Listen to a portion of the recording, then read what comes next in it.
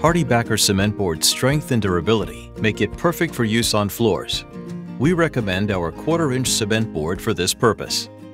Before getting started, you'll need to have the right tools and materials.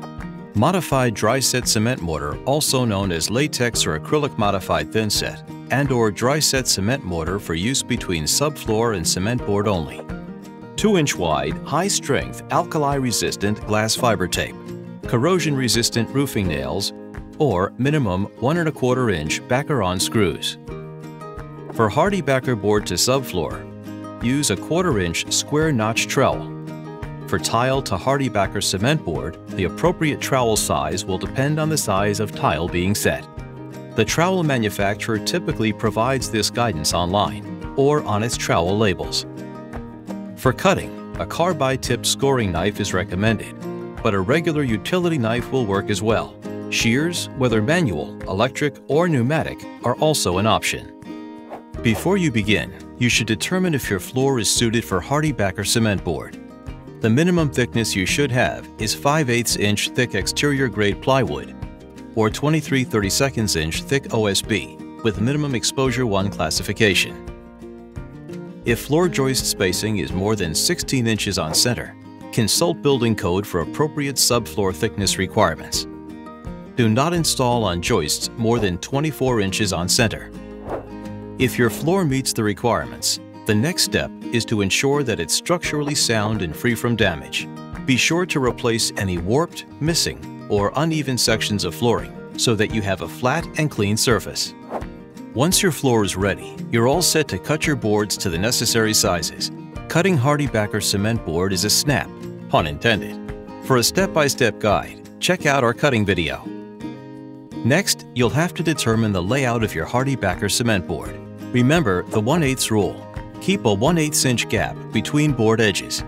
Keep sheet edges 1 8 inch back from walls and cabinet bases.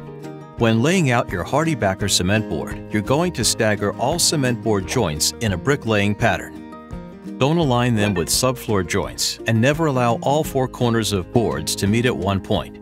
Now you're ready to attach your board to your subfloor. To start, apply a supporting bed of mortar or modified thinset to your subfloor with your trowel. Using a sliding motion, firmly and evenly embed your HardieBacker cement board in the wet mortar. Using the screw pattern as a guide, fasten your HardieBacker cement board with nails or screws every 8 inches on center over the entire surface. Keep screws between 3 8 inch and 3 quarters inch from board edges and 2 inches from board corners. Finally, set your screw heads flush with the surface. Be careful not to overdrive them. Before tiling, you'll want to tape the joints. Make sure you fill all the joints with the same mortar used to set the tiles. Next, embed 2-inch wide, high-strength, alkali-resistant glass fiber tape in the mortar and level. And that's it. Installing HardieBacker cement board to a wooden subfloor is as simple as that. HardieBacker cement board can be used with nearly any kind of tile, whether ceramic, porcelain, or natural stone. To add your tile, take a damp sponge and wipe the surface of HardieBacker cement board clean. Spread the modified thinset with a notch trowel appropriate for the size of tile you are installing. For best results, be sure to comb the ridges in one direction only. Twist or press and beat in tiles.